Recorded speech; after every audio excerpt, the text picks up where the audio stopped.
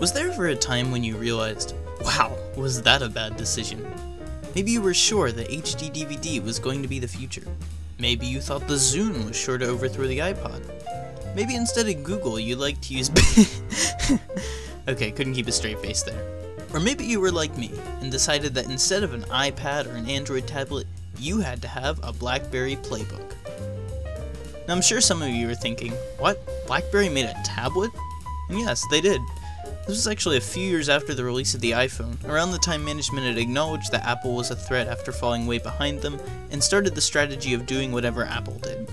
The iPhone had a touchscreen, so the BlackBerry Storm had a touchscreen. Apple released the iPad, so naturally, BlackBerry had to release a tablet of its own.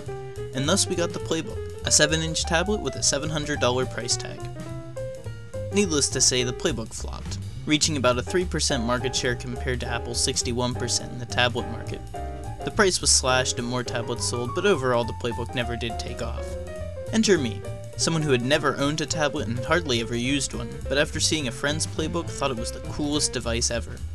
Add in the bargain price compared to the iPad and the playbook seemed like the obvious choice.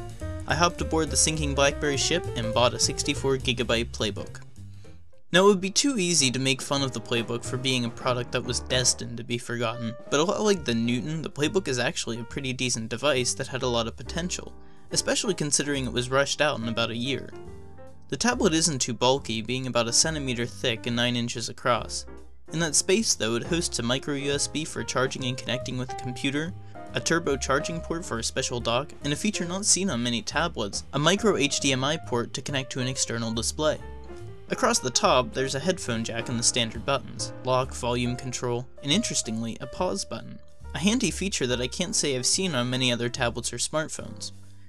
The Playbook has front and back cameras capable of recording up to 1080p and a little light for notifications. Internally, my Wi-Fi model Playbook boasts a 1GHz processor, though the 4G LTE models house a faster 1.5 GHz processor. Something unique to the Playbook is its huge bezel, it looks a little weird, but the whole thing is actually touch sensitive. It allows for a pretty intuitive gesture-based interface, with swiping that starts from off the screen. This interface was actually what sold me on the playbook. Some elements are still used today, like being able to swipe down from the top to open system settings, but others are kind of unique and handy, like swiping from the corners to bring up the notifications bar, or a keyboard. Of all the gesture features Playbook OS has to offer, my favorite are still the ones used for multitasking simply for how easy they are. Want to switch apps? Just swipe from the left or right to move over an app, or see everything running by swiping up from the bottom.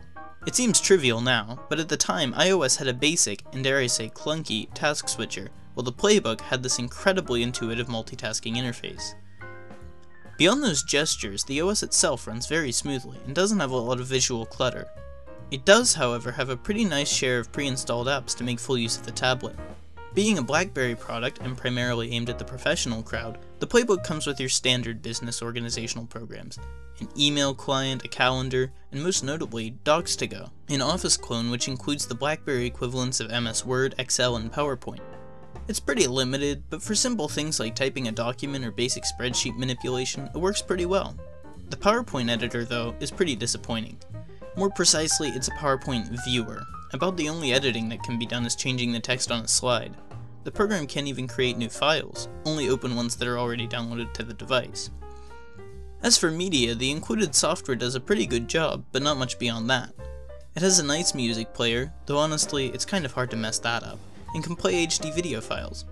YouTube used to work, but thanks to the introduction of a new API, the tablet can't play YouTube videos in its native app or in the included web browser. It takes downloading a more recent web browser from BlackBerry World to be able to watch a YouTube video, and even then, it can't be played in full screen. Probably one of the most attractive aspects of the playbook are the games that are available for it. While there isn't much that's exclusive to the playbook, many of the more popular mobile games, of 2012 at least, have found their way onto the device, like Plants vs. Zombies, Angry Birds, Cut the Rope, and so on.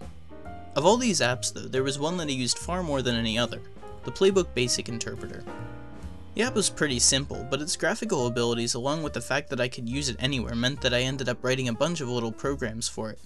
Now coding may not be what everyone wants to use their tablet for, but on long car trips it was certainly a good way to pass the time.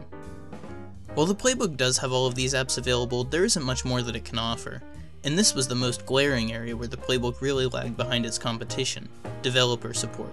After all, who's going to buy a tablet without any apps on it? And who's going to write apps for a tablet with no audience? This more than anything else is what really spelled the end of the BlackBerry playbook.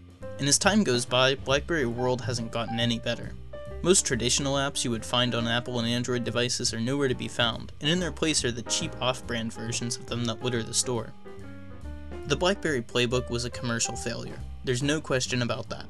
But it's fair to say that the device at least had potential, from an interface arguably ahead of its time, a smooth user experience, and a handful of useful apps right out of the box. Back in 2012 when I bought it, the Playbook was my first experience with an internet-enabled mobile device, and the idea of being able to carry a tiny computer with me wherever I went that could go online, listen to music, and write programs was fascinating. Over time though, the list of things that other devices could do that my Playbook didn't support began to grow, and by the time I got my first smartphone, I didn't have much of a need for the Playbook anymore.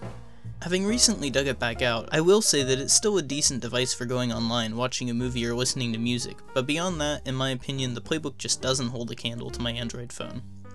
Currently, it looks like Playbooks are approaching dirt cheap levels, with prices as low as $40 in some place. If I were to recommend the Playbook, it would only be as a replacement for a netbook or for the media applications I mentioned previously.